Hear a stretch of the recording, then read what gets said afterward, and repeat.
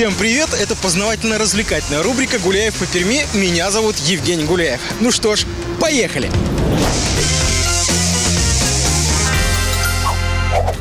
Есть такое выражение «пермяк соленые уши». Почему? Я не знаю, откуда это началось, и мне всегда самому это было интересно. Пермяк соленые уши.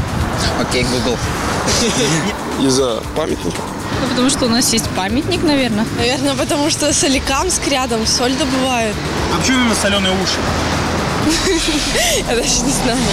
Ну вот почему не руки соленые, не ноги, а вот уши? Ну, потому что там большие уши. Я не знаю. Потеет? Люди, которые таскали э, мешки с солью, у них э, на ушах появлялись язвы от соли. И как бы это такой отличительный знак, и поэтому, видимо, так и называют. Назовите три любых произведения Корнея Ивановича Чуковского. Лебединое озеро, Щелкунчик. Э, Щелкунчик. Ну еще одно. Не знаю. Давайте, в общем, про басни Крылова вам назову. О, я когда маленький был, читал. Сейчас вспомню. Там еще было это. А, не знаю, маленький был, не вспомню. Мох, цикатух. Айболит. Мой додыр. Так. Ам, тараканище. Мука цехотуха. Есть такое выражение «четкий пацик». В вашем понимании, что это за выражение, про кого? Ну, такой, наверное, конкретно человек, вот, может быть, на которого можно положиться, который там проблемы решит.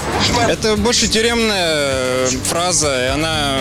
и нормальные люди ее не используют в повседневной жизни. Гоповатого типа человек. Да, какой-то молодой парень.